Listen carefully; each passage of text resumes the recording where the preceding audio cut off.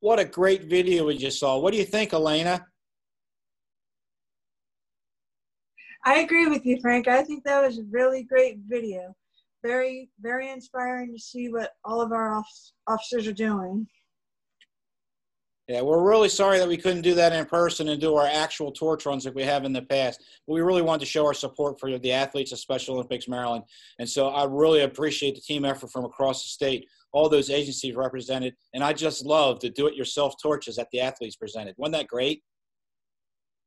That was very great. I think a lot of our athletes out there are very creative with coming up with their own torches with what they got at home. So what might, some people might know is that the torch that we carry is called the flame of hope, and it has meaning. So Elaina, what does that mean to you?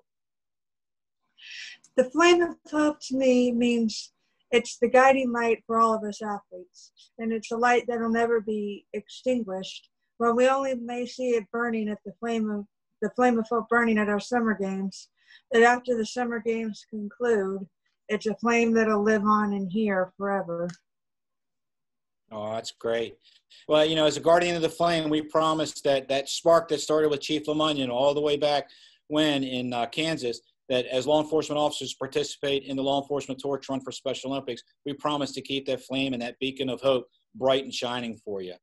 So it, it's a wonderful thing. I, I can't state enough how much I appreciate all the athletes participating in the virtual torch run with us this year.